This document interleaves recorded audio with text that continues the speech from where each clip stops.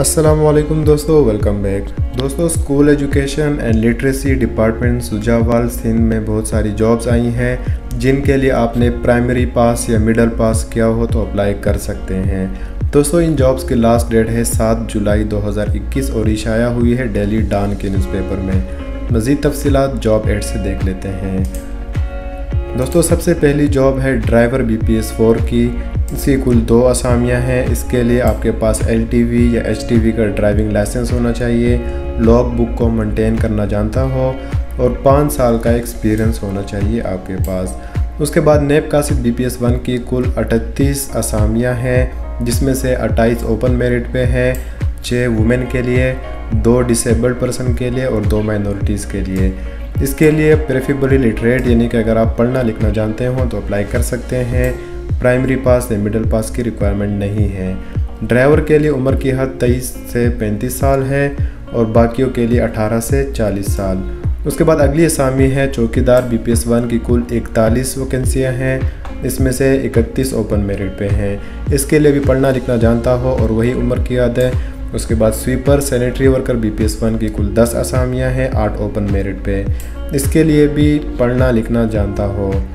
Only for non Muslims उसके बाद उम्र की हद है 18 से 40 साल। उसके बाद दोस्तों, आपने अप्लाई कैसे करना है? अप्लाई करने के लिए आप इसी पेज पर आएँगे। यहाँ से देखें एप्लीकेशन फॉर्म है। डाउनलोड एप्लीकेशन फॉर्म आपने इस पर क्लिक करना है। तो ये हमारे सामने अप्लीकेशन फॉर्म आ चुका है। दोस्तों, सबसे पहले आपने यहाँ पे name of post applied for आपने जिस वैकेंसी के लिए अप्लाई करना है, उस वैकेंसी का नाम यहाँ पे लिखना है। उसके बाद disabled quota minority women quota अगर इनमें से कोई है, आप वीमेन है या माइनॉरिटी है या डिसेबल्ड पर्सन में आते हैं तो आप किसी एक पे टिक कर सकते हैं। उसके बाद अगर ऐसा कुछ नहीं है तो आप इसको एमटी रहने देंगे। उसके बाद सी एन आई सी अपना कमीशन हफ्ती कार्ड नंबर यहाँ पे लिखेंगे, यहाँ पे नेम ऑफ़ अप्लीकेंट अपना पूरा नाम लिखेंगे, यहाँ पे फादर नेम लिखेंगे।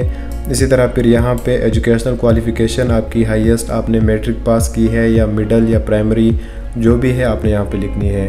उसके बाद डिस्ट्रिक्ट अपने ज़िले का नाम यहाँ पे लिखना है, यहाँ पे तालुका का नाम लिखना है और यहाँ पे यूनियन कौंसल का नाम लिखना है। उसके बाद यहाँ पे सेल नंबर, अपना मोबाइल नंबर जो आपके ज़ेर इस्तेमाल हो किसी भी वक्त आपसे रबता किया जा सके। यहाँ पे डेट ऑफ़ सबमिशन आप जिस डेट को अप्लाई कर रहे हैं, उस डेट का आपने वो डेट यहाँ पे लिखनी है। उसके बाद सिग्नेचर ऑफ़ अप्लीकेंट अपना नाम, अपना सिग्नेचर आपने यहाँ पे करना है। उसके बाद यहाँ पे लिस्ट ऑफ़ डॉक्यूमेंट्स अटैच आपने जो जो डॉक्यूमेंट अटैच किए हैं, यहाँ पे लिखने हैं। जैसे कि सी एन आई सी कोमा आपने तस्वीरें अटैच की हैं तो फ़ोटोज़ पिक्स उसके बाद कौन कौन से डोमिसाइल की फ़ोटो कापी एजुकेशनल डॉक्यूमेंट्स की जितने भी फ़ोटो कापीज़ हैं, आपने अटैच की हैं, वो यहाँ पे लिखनी है।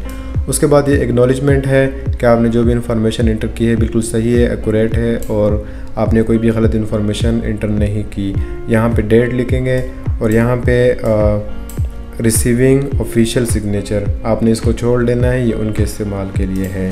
तो दोस्तों, ये थी आज की वीडियो डिटेल्स। आपका कोई भी सवाल हो तो हमसे कमेंट बॉक्स में पूछ सकते हैं। हमारी इस वीडियो को लाइक और चैनल को सब्सक्राइब करना मत भूलिएगा, ताकि आपको डेली बेसिस पे ऐसी वीडियोज़ मिलती रहे। So do subscribe the channel and stay updated thank you